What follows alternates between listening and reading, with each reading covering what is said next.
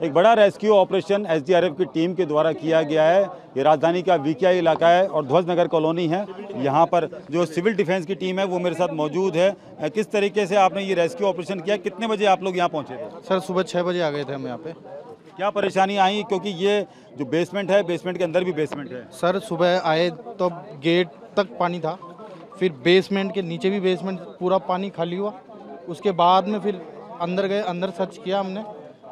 तीन घंटे हमें सर्च करके फिर बॉडियाँ कलेक्ट किया हमने। तो तीन घंटे आपने सर्च किया क्या परेशानी आई? क्योंकि जो बड़ी मात्रा में मलबा भी था अंदर। सर मलबा भी था ऊपर से छत की जो पट्टियाँ थी वो आधी झूल रही थी आधी ऐसे लटकी हुई थी। गैस का रिसाव हो रहा था कई गैस चालू हो रही थी और गैस के जो वेपर्स होते हैं वो हवा में उड़ रहे थे तो इसलिए हम टॉर्च वगैरह का भी यूज़ नहीं कर सकते थे उसमें। तो बिल्कुल आप देख सकते हैं कितनी ज़्यादा परेशानी। आप बताइए आप भी अंदर गए थे तो किस तरीके से परेशानी और कैसे आपने रेस्क्यू ऑपरेशन को अंजाम दिया?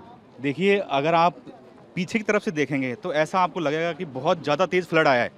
सारे संस जो भी गेट वगैरह, दीवार वगैरह सब टूट गई थी और अचानक से एक मिनट, दो मिनट में बहुत ज़्यादा पानी आ गया तो उनको बचने का चांस मिला ही नहीं और वो इसलिए डूब गए।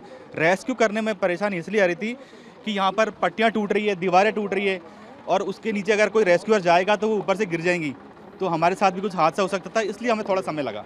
छोटी छोटी बच्ची भी थी एक और एक युवती थी और एक जो है एक युवक था तो उनको किस तरीके से क्या भागने का मौका नहीं मिला? क्या रहा होगा घटनाक्रम देखिए अचानक से जब कोई इस तरह की फ्लड आता है जैसे तेज बहाव आया तो उनको निकलने का समय नहीं मिला। निकलने के लिए भी दो फीट की गैलरीज है और उसमें तीन फैमिली रहती है तो कितने लोग निकलेंगे?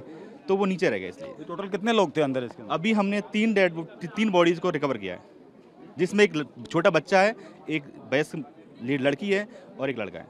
यहाँ अंदर जो है सिलेंडर भी निकाले आपने हमने देखे थे। तीन एलपीजी सिलेंडर निकाले उन वो लगातार रिसाव हो रहा था। रिसाव होने के कारण एलपीजी गैस उस स्टोरेज हो गई वहाँ पर।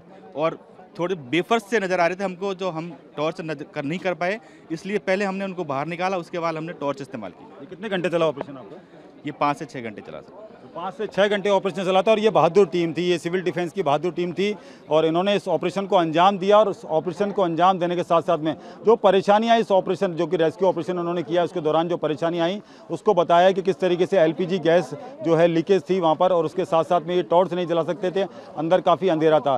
तो इस ऑपरेशन को जो है बड़ी बहादुरी के साथ में इन्होंने अंजाम दिया है और तीन डेड बॉडी को यहाँ से निकालकर इस रेस्क्यू ऑपरेशन को कंप्लीट किया है। मेरे सहयोगी शक्ति सिंह के साथ Dhwajaria TV nine Bharatvarsh. Jaipur